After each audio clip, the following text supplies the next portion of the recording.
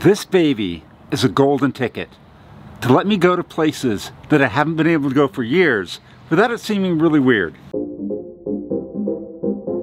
Take a look at this versus that.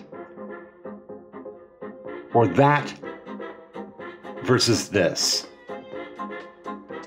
As long as I got him attached to my arm like a backstage pass to a lanyard, I can go anywhere and do anything I want without a second glance. Because he keeps everything on just the right side of being creepy. Whee! Which way you want to go? You want to go that way? Let's go that way. No, buddy, let's go. Let's go back this way. I think mom might not approve if I dropped you going down a, a rope slide.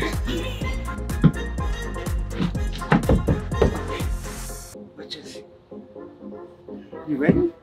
Ready? Oh, no. Here we go. Ready? Whee! you got this, big boy. ready? Oh. Oh, hi there. Whee!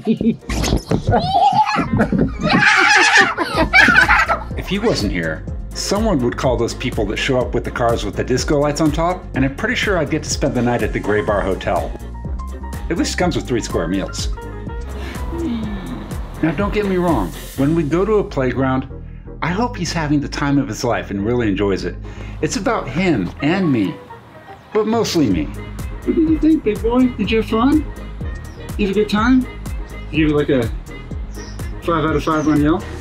89 out of 5? I'm pretty sure he rates it about a million out of 5, so we'll be back. This isn't our only time at the park. All right, big guy, let's go home.